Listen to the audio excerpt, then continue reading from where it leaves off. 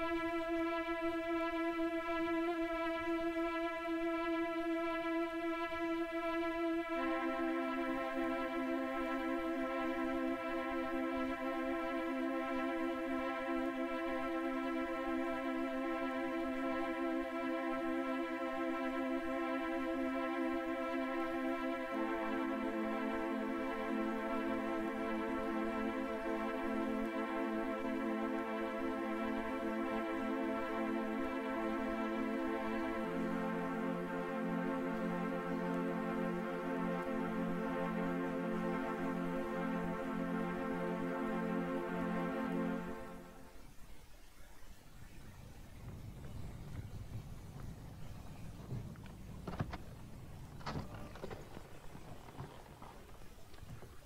Привет, я Боб Лазар. В конце 1988 года, в начале 89 я работал над двигательными установками внеземных транспортных средств для правительства Соединенных Штатов. Оборудование и технологии, с которыми я столкнулся, должны быть переданы в надлежащие руки научного сообщества. И каждый человек на Земле имеет право знать, что есть физические доказательства, которые доказывают, что где-то есть жизнь и что, по крайней мере, одна форма этой жизни была здесь. Для тех из вас, чья информация обо мне ограничена этим видео, я дам вам краткую предысторию.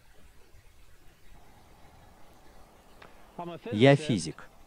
У меня есть ученые степени по физике и электронным технологиям. Я работал в ряде научных программ, некоторые из которых требуют совершенно секретных и сверхсекретных разрешений службы безопасности, из которых наиболее легко поддается проверке моя работа в начале 1980-х годов здесь, в физическом центре Лос-Аламос-Мезон, в Лос-Аламосе, Нью-Мексико. С декабря 88 по апрель 89 я работал старшим штатным физиком, и это должно быть самый секретный проект в истории. Моим местом работы был объект в районе, известном как S-4 на полигоне ВВС Нелис в Центральной Неваде. Область. S-4 расположен примерно в 15 милях к югу от печально известной установки Area 51 на озере Грум, где были разработаны самолеты-разведчики Ю. Туи-Систа-71. За все время моей работы в С-4 мне платил военно-морской флот Соединенных Штатов. Для цели этого видео я собираюсь разделить информацию, содержащуюся здесь, на две отдельные части. Первая часть будет посвящена информации, с которой у меня был практический опыт и личный точные инструкции. Другими словами, я не только читал брифинги, и меня не только обучали теориям этих технологий, но они демонстрируются мне, и я знаю, что они верны, не точны. Некоторые из пунктов, рассмотренных в этом первом разделе, будут. Как огромные расстояния в космосе преодолеваются благодаря сильному гравитационному ощущению. Как создается это гравитационное поле? Что такое источник питания и как он функционирует? И общая информация о дисках и проекте, который состоит из четырех. Вторая часть этого будет касаться тем, по которым я читал вспомогательную информацию, но по большей части у меня не было другого способа подтвердить информацию или убедиться в ее точности. Когда мы доберемся до второй части, станет очевидно, почему доказательства некоторых из этих сведений не могут быть убедительными. Некоторые из пунктов, рассмотренных во втором разделе, будут информация о существах, которые принесли нам эту технологию, и как эти существа исторически взаимодействовали с человеком. Я был благоразумен, выбирая, что здесь выставлять, и я думаю, что некоторая часть этой информации не должна быть доступна широкой публике. Эта информация передается тебе так же, как и мне, за исключением того, что в большинстве случаев я упростил ситуацию для тех из вас, кто не имеет научного и нетехнологического образования. Так что давай начнем.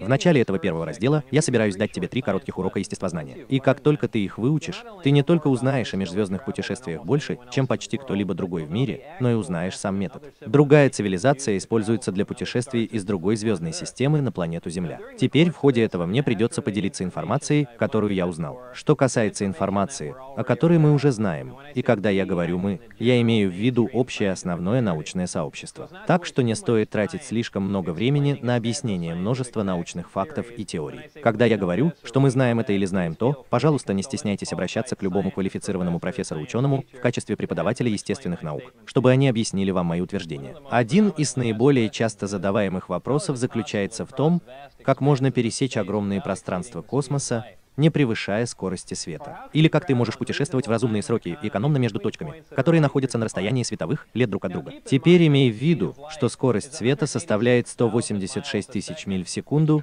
что составляет примерно 669 миллионов миль в час. А световой год — это расстояние, пройденное за один год со скоростью света. Проксимус Центавра — это звездная система, ближайшая к звездам, до которых мы добираемся за 4 года, путешествуя со скоростью света. Так что до сих пор когда мы изучали требования для прохождения этих расстояний, нам всегда приходилось рассматривать проблемы, связанные с путешествием со скоростью, близкой к скорости света. Это создает проблемы с двигателем, навигацией, запасами топлива. И даже если учесть влияние ускорения на пространство-время, которое включает в себя замедление времени, увеличение массы, сокращение полосы движения и целый ряд других вещей, быстро становится очевидным, что этот тип путешествий потребует уровня технологий, которого человек еще не достиг. Правда в том, что для преодоления этих расстояний действительно требуется уровень технологий, которого человек еще не достиг. Но это не имеет ничего общего с полетом в линейном режиме, близком к скорости света. Мы знаем, что кратчайшее расстояние между двумя точками — это прямая линия. Итак, в нашей Вселенной мы всегда предполагали, что самый быстрый путь из точки А в точку В — это движение по прямой со скоростью света. Ну, дело в том, что когда ты имеешь дело с пространством-временем и наслаждаешься возможностью генерировать интенсивное гравитационное поле, самый быстрый способ из точки А в В исказить, искривить или искривить пространство-время между точками А и В, сближая точки А и В. Чем интенсивнее гравитационное поле, тем больше искажение пространства-времени и тем короче расстояние между точками А и Б. Большинство из нас думают о пространстве-времени как о пустоте или как о ничто. И помни, не так давно человек считал воздух в нашей атмосфере ничем. Но со временем мы стали осознавать элементы и свойства воздуха в нашей атмосфере. Ну, действительно, пространство-время — это сущность, и одно из его свойств заключается в том, что оно может быть искажено или искривлено гравитационным полем. Мы знаем, что гравитационные изгибы искажают пространство, время и свет в силу того факта, что мы можем видеть звезды, которые, как мы знаем, должны быть закрыты от нашего взгляда Солнцем. Ссылаясь на рисунок здесь, сплошная линия обозначает положение звезды, расположенной за Солнцем, а пунктирная линия показывает ее положение, если смотреть с Земли. Это стало возможным потому, что гравитационное поле Солнца искажает пространство-время и свет вокруг Солнца, позволяя нам видеть звезды, которые должны быть скрыты от глаз. Мы знаем, что гравитация искажает время в силу того факта, что если мы возьмем два одинаковых атомных часа и будем держать одни на уровне моря, а другие поднимем на большую высоту, когда мы сведем их вместе, они будут отражать разное время.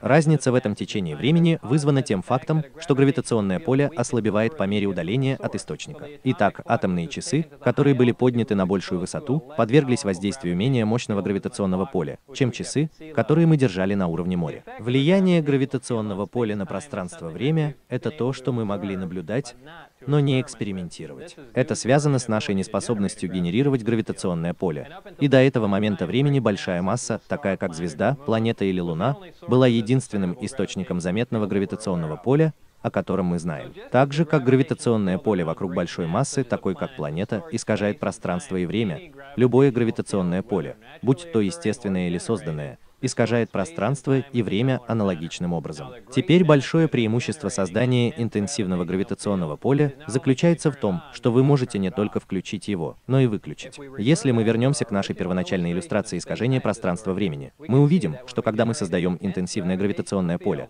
мы можем исказить пространство-время, в свою очередь, расстояние между точкой, в которой мы находимся, в точке, где мы хотим быть. Затем мы можем расположиться в точке, где мы хотим быть, а затем прекратить генерировать гравитационное поле, позволяя пространству-времени вернуться к своей естественной форме.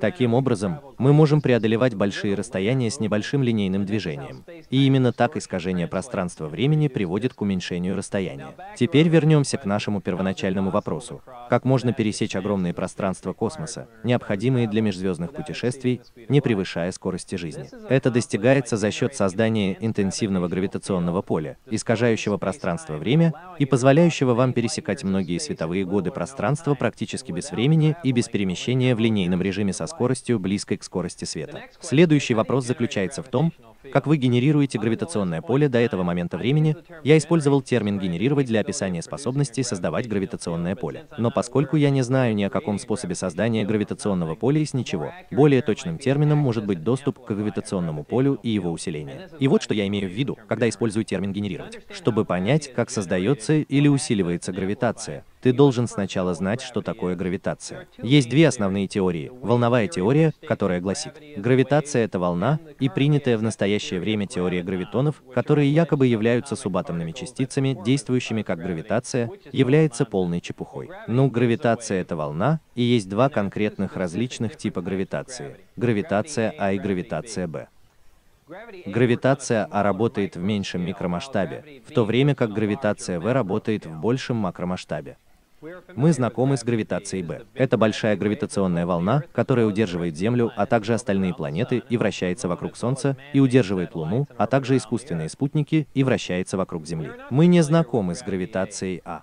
Это небольшая гравитационная волна, которая является основной движущей силой, удерживающей вместе массу, составляющую все протоны и нейтроны. Гравитация А — это то, что в настоящее время обозначается как сильное ядерное взаимодействие в основной физике. А гравитация А — это волна, которой вам нужно получить получить доступ и усилить в ней, чтобы вы могли вызвать искажение пространства-времени для межзвездных путешествий. Чтобы держать их в уме, просто помни, что гравитация А работает в атомном масштабе, а гравитация В — это большая гравитационная волна, которая работает на звездном планетарном уровне. Однако не принимай размер этих волн за их силу, потому что гравитация А гораздо более сильная сила, чем гравитация Б. Ты можешь на мгновение нарушить гравитационное поле би воздуха, просто прыгнув в воздух, так что это не интенсивное гравитационное поле. Низкий уровень гравитации, а не проблема, потому что он находится в ядре каждого атома всей материи здесь, на Земле, и всей материи в любом другом месте нашей Вселенной. Однако, доступ в гравитации с природными элементами, найденными на Земле, является большой проблемой. На самом деле, я не знаю ни одного способа получить доступ к гравитационной волне, используя какие-либо элементы Земли, будь то природные или синтезированные. И вот почему. Мы уже узнали, что гравитация А — это главная сила, которая удерживает вместе массу, составляющую протоны и нейтроны. Это означает, что гравитационная волна, к которой мы пытаемся получить доступ, практически недоступна, поскольку она находится внутри материи или, по крайней мере, внутри материи, которая у нас есть здесь, на Земле. Однако Земля не является представителем всей материи в нашей Вселенной. Остаточная материя, которая остается после создания Солнечной системы, полностью зависит от способствующих факторов, которые присутствовали во время создания Солнечной системы. Это верно верно независимо от того, веришь ли ты, что происхождение Вселенной было эволюционным событием, или что это событие произошло по вине высшего существа. Два основных фактора, которые определяют, какая остаточная материя остается после создания Солнечной системы, это количество электромагнитной энергии и количество массы, присутствующей во время создания Солнечной системы. В нашей Солнечной системе есть одна звезда, которая является нашим Солнцем, но большинство солнечных систем в нашей галактике Млечный Путь являются двойными и множественными звездными системами. На самом деле, во многих многих одиночных звездных системах есть звезды, которые настолько велики, что наш сын по сравнению с ними покажется карликом. Имея все это в виду, должно быть очевидно, что большая одиночная звездная система, двойная звездная система или система с несколькими звездами имели бы больше необходимой массы и электромагнитной энергии, присутствовавших во время их создания. Это позволяет этим системам обладать элементами, которые не являются родными для Земли. Ученые давно теоретизировали, что существуют потенциальные комбинации протонов и нейтронов, которые должны обеспечить обеспечить стабильные элементы с атомными номерами выше, чем любой из них, фигурирующих в нашей периодической таблице. Хотя ни один из этих тяжелых элементов не встречается на Земле естественным образом, 88 из числа 92 элементов периодической таблицы встречаются на Земле естественным образом. Некоторые более тяжелые элементы действительно встречаются в следовых количествах, но по большей части мы синтезируем эти более тяжелые элементы и лаборатории. Вообще говоря, стабильность этих синтезированных тяжелых элементов уменьшается по мере увеличения их атомного номера. Но эксперименты лаборатории интенсивных исследований в Германии показали, что это может может быть верно только до определенного момента, поскольку период полураспада элемента 109 больше, чем у элемента 108. Дело в том, что наши наблюдения и теории точны. Дело в том, что существуют более тяжелые стабильные элементы с более высокими атомными номерами, в которых больше протонов, нейтронов и электронов, чем в любых земных элементах. Однако до этого момента в истории не было никаких физических доказательств, подтверждающих это. Но теперь это доказательство здесь.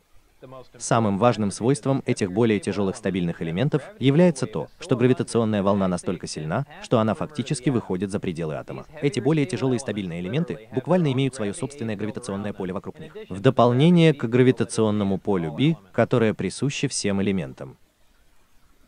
Ни у одного естественного атома на Земле нет достаточного количества протонов и нейтронов, чтобы общая гравитационная волна распространялась за периметр атома, чтобы вы могли получить к нему доступ. Хотя расстояние, на которое распространяется гравитационная волна, бесконечно мало. Она доступна и имеет амплитуду, длину волны и частоту, как и любая другая волна в электромагнитном спектре.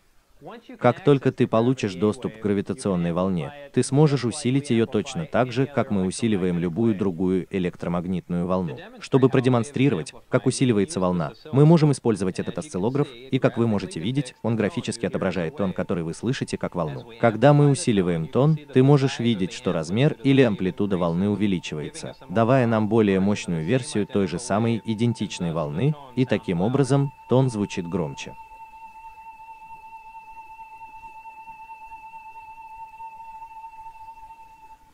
В такой же манере гравитация усиливается, а затем фокусируется на желаемом месте назначения, чтобы вызвать искажение пространства-времени, необходимое для космических путешествий. Эта усиленная гравитация волна настолько мощна, что единственным естественным источником гравитации, из-за которого пространство-время так сильно исказилось, была бы черная дыра. Это возвращает нас к нашему первоначальному вопросу. Как вы создаете гравитационное ощущение? У тебя должен быть доступ к элементу, который достаточно тяжел, чтобы гравитационная волна могла распространиться за пределы атома. Тогда ты можешь получить доступ и усилить его для искажения пространства-времени.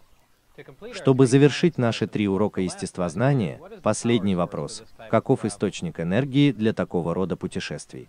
Ну, для тех из вас, кто имеет ограниченные знания об источниках энергии, я уверен, что вы, вероятно, можете себе представить, какое огромное количество энергии требуется, чтобы вызвать искажение пространства-времени для такого типа путешествий. В конце концов, мы усиливаем волну, которая едва выходит за пределы периметра атома, пока она не станет достаточно большой, чтобы исказить огромное пространство-время. Для тех из вас, кто обладает обширными знаниями об источниках питания, я уверен, что, вероятно, еще более загадочно, как можно иметь компактный, легкий источник питания на борту, который может обеспечить такую мощность для всех. Чтобы понять это, мне нужно дополнительно объяснить пару вещей, которые мы кратко затронули в последнем вопросе. Если ты помнишь, я сказал, что по большей части мы синтезируем или создаем более тяжелые элементы и ускорители, и их стабильность уменьшается по мере увеличения их атомного номера. Так что же все это значит? Ну, мы синтезируем эти более тяжелые, нестабильные элементы, используя более стабильные элементы в качестве мишени в ускорителе частиц. Затем мы бомбардируем целевой элемент различными атомными и субатомными частицами. В этот момент происходит трансмутация, превращающая целевой элемент в другой более тяжелый элемент. Этот элемент теперь имеет более высокий атомный номер, так как атомный номер просто указывает на количество протонов в ядре атома. Так вот, что я имею в виду, когда говорю, что их атомный номер увеличивается, что означает снижение их стабильности. Продолжительность времени, в течение которого элемент существует до того, как он распадется, определяет его стабильность. Атомы некоторых элементов распадаются быстрее, чем атомы других элементов, поэтому чем быстрее распадается элемент, тем более нестабильным считается этот элемент. Когда атом распадается, он высвобождает излучающие субатомные частицы и энергию, которые являются излучением, которое обнаруживает счетчик Гейгера. Как ты можешь видеть, этот счетчик Гейгера регистрирует излучение от этого урана, что буквально означает, что счетчик Гейгера регистрирует субатомные атомные частицы, которые высвобождаются или излучаются по мере распада урана. Те элементы, в которых можно последовательно обнаружить ядерное излучение, являются радиоактивными элементами. Эти тяжелые элементы, которые мы синтезируем в ускорителях частиц, имеют радиоактивную разновидность, и они распадаются очень быстро. Поскольку мы можем создать только несколько атомов этих элементов, и поскольку они так быстро распадаются, мы не можем многое о них наблюдать. Вот что я имею в виду, когда говорю, что их стабильность снижается. Однако, Однако есть элементы с более высокими атомными номерами, которые стабильны даже если они не встречаются в природе на Земле, и мы можем синтезировать их в ускорителях частиц. Это элементы в диапазоне 114115, которые не отображаются на периодической таблице. За пределами элемента 115 элементы снова становятся нестабильными, и на самом деле элемент 116 распадается на доли секунды. Это, наконец, подводит нас к источнику энергии. Источником энергии является реактор, который использует этот элемент 115 в качестве топлива. В этом реакторе элемент 115 используется в качестве мишени и бомбардируется протонами в ускорителе малых частиц. Когда протон подключается к ядру атома 115, он увеличивает свой атомный номер и становится атомом элемента 116, который мгновенно распадается. То, что высвобождает элемент 116, когда он распадается, или то, что он излучает, это антивещество. Что такое антивещество? Любая материя является точной копией материи, которая имеет заряд в спине, противоположный всей материи. В сочетании с любой материей в нашей Вселенной, любая материя реагирует и полностью преобразуется в энергию. И помни, быстрое превращение материи в энергию — это то, что мы обычно называем взрывом. Чтобы продемонстрировать взрывную силу любого вещества, давайте выберем случайную область где атомная бомба может взорваться, скажем, в Ираке. И в демонстрационных целях, допустим, взорвется атомная бомба. Например, во всем. Багдад. Ну, если бы одна из наших старых атомных бомб взорвалась в Багдаде, площадь полного разрушения, которая обозначена красной точкой на карте, составила бы примерно 2 мили. Это было бы вызвано эффективной реакцией, в которой менее 1% ядерного материала преобразуется в энергию. Большинство из вас знакомы с бомбами, которые были сброшены на Японию во время Второй мировой войны. Это та же самая бомба, которая была сброшена на Нагасаки в августе 1945 года. Примерно в это же время доктор Эдвард Теллер, известный как отец водородной бомбы, понял, что ядерная термоядерная бомба возможна. Термоядерный синтез высвободил бы еще больше энергии и вызвал бы еще больший взрыв из того же количества ядерного материала. К большому разочарованию доктора Теллера японцы сдались. Мы так и не сбросили водородную бомбу, и с тех пор доктор Теллер в плохом настроении.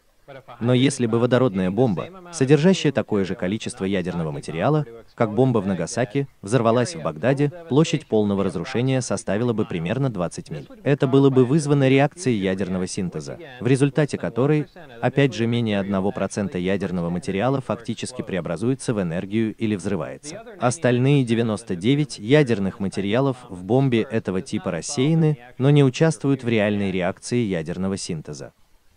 Теперь, если бы бомба была изготовлена из того же количества ядерного материала, что и бомба в Нагасаки, и этот материал был бы любым, когда эта бомба взорвалась в Багдаде, площадь полного разрушения включала бы части Африки, Европы и Азии, при этом точную площадь полного разрушения очень трудно вычислить. Это было бы вызвано реакцией полного уничтожения, которая представляет собой полное превращение материи в энергию. 100% ядерного материала этой бомбы взорвется или превратится в энергию. В настоящее время у нас нет практического способа использовать любую материю в бомбе, и вообще говоря, мы можем только изолировать любую материю в ускорителе частиц и хранить ее в течение короткого времени. Это демонстрирует огромное количество энергии, высвобождаемой при полном преобразовании материи в энергию, что и происходит, когда любая материя и вещество объединяются. Так что возвращайся к нашему источнику энергии. Внутри реактора элемент 115 бомбардируется протоном, который подключается к ядру атома 115 и становится элементом 116, который немедленно распадается и высвобождает или излучает небольшое количество антивещества. Антивещество высвобождается в вакууме в специальную трубку, которая не дает ему вступать в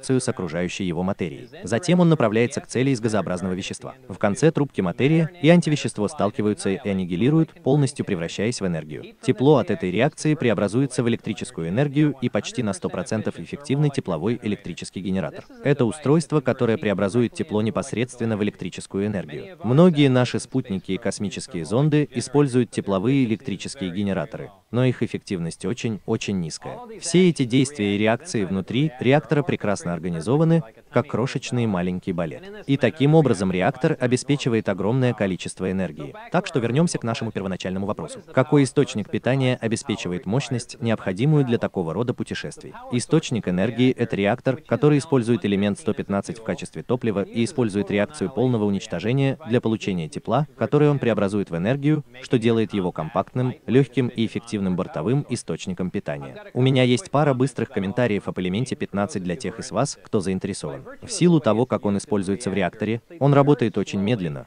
и только 223 грамма из 115, что составляет чуть меньше половины фунта, могут быть использованы в течение 20-30 лет. Температура плавления элемента 115 составляет 1740 градусов по Цельсию. Я должен здесь заявить, что хотя у меня был практический опыт работы со 115 элементом, я ничего из этого не расплавил и не использовал в течение 20-30 лет, чтобы посмотреть, истощился ли он. Итак, мы узнали, как пространство-время искажается гравитационным полем. Мы узнали, как создается это гравитационное поле, и мы также узнали, где ты получаешь силу для всего этого.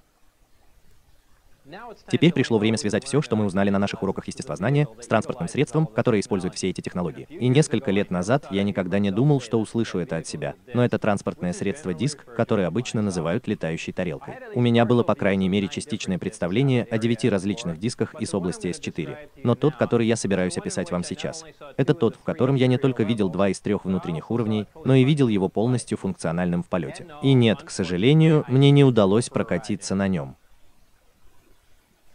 Этот конкретный диск, похоже, был в отличном состоянии, и из-за его гладкого внешнего вида я прозвал его спортивной моделью. Спортивная модель около 16 футов в высоту и 40 футов в диаметре. Внешняя оболочка диска металлическая, цвета неполированной нержавеющей стали. Спортивная модель сидит на животе, когда она не заряжена энергией. Как ты можешь видеть, люк расположен на верхней половине диска, и только нижняя часть двери обхватывает центральную кромку диска. Внутренний уровень диска разделен на три уровня. На нижнем уровне расположены три усилителя силы тяжести и направляющие усилителя. Это то, что используется для усиления и фокусировки гравитации, волны, о которой мы узнали на наших уроках естествознания. Реактор расположен непосредственно над тремя усилителями гравитации на центральном уровне и фактически расположен между ними.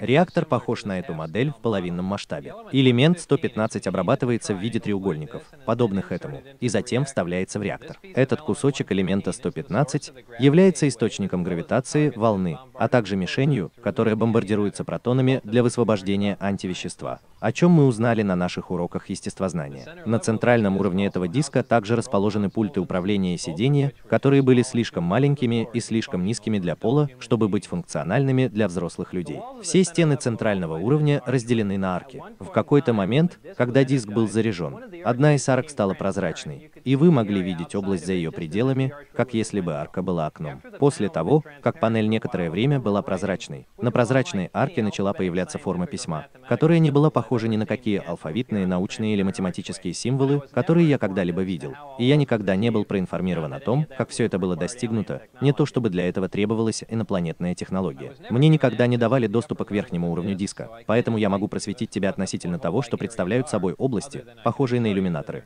Кроме того, я могу заверить тебя, что это не иллюминаторы. Теперь, прежде чем я продолжу рассказывать о диске, я собираюсь показать тебе, где и при каких обстоятельствах я видел, как его тестировали. Моя работа в этой программе заключалась в том, чтобы быть частью инженерной команды. Бэк-инжиниринг — это процесс, когда вы берете готовый продукт и разрываете его на части, чтобы выяснить, что заставляет его работать. Цель этой программы состояла в том, чтобы увидеть, можно ли воспроизвести технологию диска с земными материалами когда я пошел на работу. Меня доставили из аэропорта Маккарен в Лас-Вегасе в зону 51, которая является высокозащищенной правительственной базой на испытательном полигоне в Неваде. Зона 51 расположена примерно в 125 милях к северу от Лас-Вегаса, недалеко от гор Грум и русла сухого озера Грум. Из зоны 51 я попал в еще более защищенное учреждение, расположенное примерно в 15 милях к югу от зоны 51 под названием S4. S4 расположен у подножия гор Папус у сухого озера Папус. Воздушное пространство вокруг нас четверых ограничено, и если какой-либо нежелательный самолет вылетит во внешний сектор, они свяжутся с пилотом по радио и проинструктируют его или ее покинуть. Если этот пилот продолжит и забредет в средний сектор, самолеты будут подняты, чтобы сопроводить вторгшийся самолет. Если по какой-либо причине этот самолет проникнет в сектор инсайта до того, как самолеты смогут подняться в воздух, Ракеты класса Земля-воздух нейтрализуют нарушителя. Мораль этой истории такова. Не пытайся влететь в С-4. Установка С. Фор встроена в гору, а 9 дверей ангара расположены под углом около 60 градусов. Эти двери покрыты песочным текстурированным покрытием, чтобы сливаться со склоном горы и полом пустыни. Как вы можете видеть на этом изображении, мой идентификационный значок имел белый фон с одной светло-голубой и одной темно-синей диагональной полосой в верхнем левом углу. Внизу значка были буквы и цифры, обозначающие различные области, включая S4. На моем значке была «Учились», пробитая через S4. Задняя сторона удостоверения личности была темно-синей, с вертикальной магнитной полосой, идущей с одной стороны. Вешалка, на которой размещалась спортивная модель, была похожа на типичную самолетную вешалку, за исключением угловых дверей, о которых я упоминал ранее. Вешалка была оснащена типичными инструментами и обширным электронным оборудованием. Там также была машина с эмблемой рентгеновского снимка на ней и мостовой кран весом 20 тысяч фунтов. Оборудование на этой вешалке было помечено черным номером 41 с белым кружком вокруг него. Именно за пределами этого ангара я видел, как тестировалась спортивная модель. Теперь, когда диск движется вблизи другого источника гравитации, такого как планета или Луна, он не использует тот же способ передвижения, о котором мы узнали на наших уроках естествознания. Когда диск находится рядом с другим источником гравитации, таким как Земля, гравитационная волна A, распространяющаяся от диска, сдвигается по фазе в гравитационную волну B, которая распространяется от Земли, и это создает подъемную силу. Усилители гравитации диска могут фокусироваться независимо. Они пульсируют и не остаются включенными непрерывно. Когда все три этих усилителя используются для путешествий, они находятся в конфигурации дельта, а когда для путешествий используется только один, он находится в конфигурации омикрон. По мере того, как интенсивность гравитационного поля вокруг диска увеличивается, искажение пространства-времени вокруг диска также увеличивается. И если бы ты мог видеть искажение пространства-времени, вот как это выглядело бы. Как ты можешь видеть, по мере того, как выход гравитационного поля от усилителей становится более интенсивным. Форма пространства-времени вокруг диска не только изгибается вверх, но и при максимальном искажении фактически складывается почти в форме сердца вокруг верхней части диска. Теперь запомни, это искажение пространства-времени происходит на 360 градусов вокруг диска. Так что если бы ты смотрел на диск сверху, искажение пространства-времени было бы в форме пончика. Когда гравитационное поле вокруг диска настолько интенсивно, что искажение пространства-времени вокруг диска достигает максимального искажения и складывается в эту форму в форме сердца. Диск нельзя увидеть ни с какой точки зрения, и для всех практических целей он невидим. Все, что ты мог бы увидеть, это небо, окружающее его. Программа, представленная областью S4, состояла из трех проектов. Проект Галилея, проект Помощник и проект Зазеркалье. Проект Галилея занимался гравитационным движением и был источником всей информации, которую ты узнал. В этом первом разделе проект «Боковой удар» имел дело с лучевым оружием, которое имело источник нейтронов и фокусировалось гравитационной линзой. Проект «Зазеркалье» имел дело с физикой видения прошлого.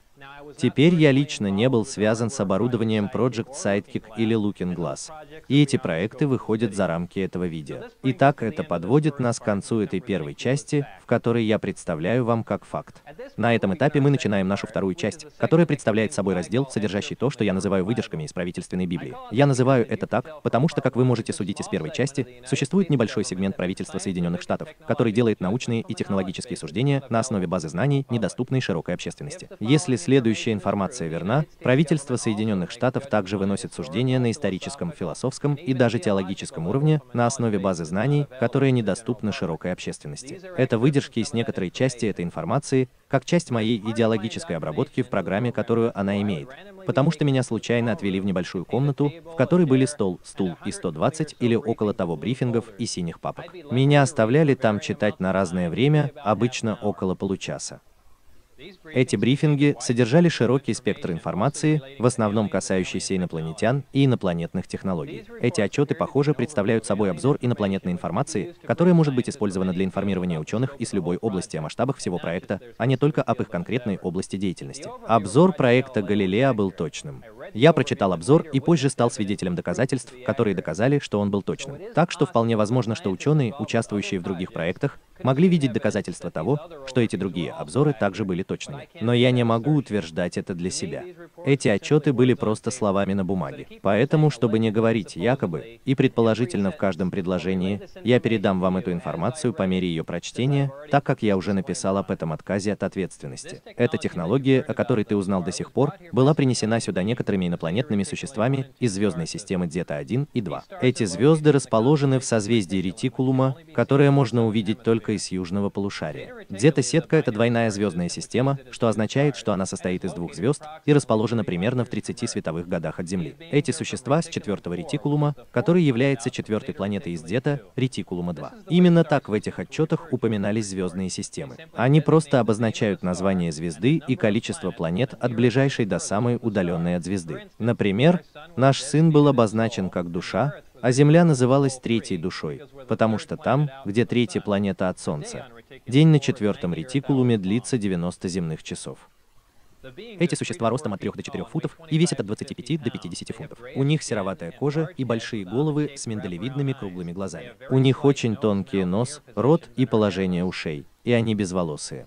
Все даты в информации об этих существах были записаны шестизначным числом, которое начиналось с 1623 года. Поскольку я понятия не имел, какое шестизначное число было в текущем году, я не мог вычислить, когда эти существа прибыли, или, по крайней мере, прибыли в этот раз. Они сказали, что они долгое время посещали Землю и представили фотографические доказательства, которым, как они утверждали, было более 10 тысяч лет. До 1979 года в Центральной Неваде происходил обмен оборудованием и информацией, после чего произошел конфликт, который резко остановил программу. Существа ушли, но должны были вернуться в 1623 году. И я не знаю, какова эта дата с оставшимся оборудованием и информацией. Правительство США начало программу БЭК инжиниринга в мае 1987 года. Некоторые ученые перенесли реактор с антивеществом на подземную взрывную установку на испытательном полигоне в Неваде, чтобы провести эксперимент. К несчастью для них, их эксперимент потребовал, чтобы они вскрыли реактор, что привело к их смерти. Этот взрыв был объяснен другим на испытательном полигоне, как ранее необъявленное подземное ядерное испытание с низкой мощностью. Меня наняли в декабре 1988 года, чтобы заменить одного из этих людей. Эти существа передали информацию о способности воздействовать на человеческий мозг, чтобы обезболивать человеческое тело. Это делается без какого-либо физического контакта с удаленным источником. Для того, чтобы эта анестезия была выполнена, мозг должен находиться в расслабленном состоянии, подобном тому, которое требуется для гипноза. Если мозг подвергается какой-либо внешней стимуляции, такой как стимулирующие препараты или громкая музыка, эта манипуляция нервной системой неэффективна. Эти существа сказали, что человек был продуктом внешне исправленной эволюции. Они сказали, что человек, как вид, был генетически изменен 65 раз. Они называют людей контейнерами, но я не знаю, из чего мы являемся контейнерами. Как я уверен, ты теперь знаешь, для меня было невозможно подтвердить информацию во втором разделе. И очевидно, если эта информация верна, последствия будут далеко идущими, и вам не нужно быть физиком-ядерщиком, чтобы понять это. Поэтому, прежде чем я закончу это, есть пара вопросов, которые я должен задать тебе. Первый вопрос. Как я попал в эту программу?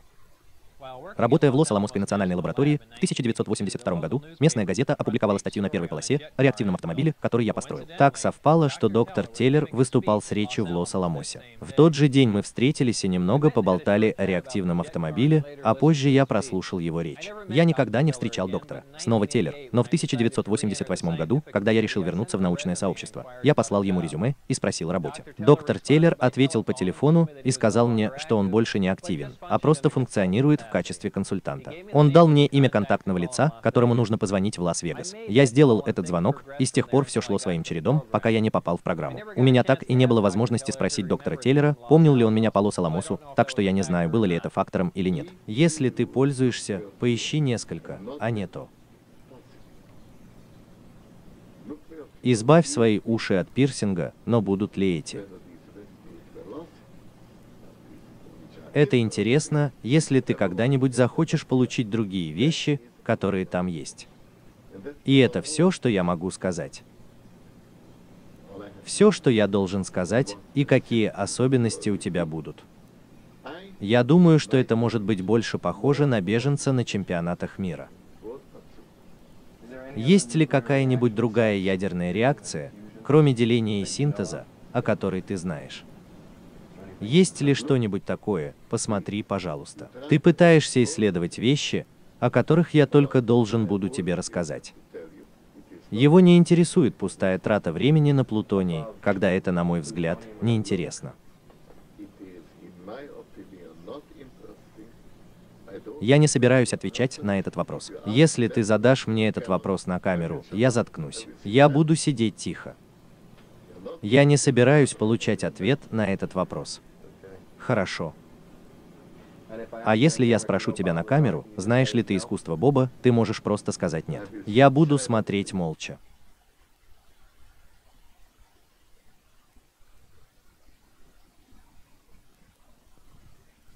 Второй вопрос заключается в том, что если все, что я тебе только что представил, правда, и правительство держит это в секрете, как я могу снять видео, рассказывающее тебе об этом? Ну, суть в том, что если будут какие-либо последствия для создания этого видео, просто подтвердите, что то, что я вам сказал, правда. Так что то, что ты будешь делать с этой информацией, зависит от тебя.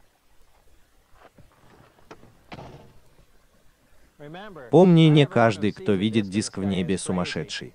Так что не спускай глаз с неба, особенно здесь, в Центральной Неваде. И спасибо, что выслушал.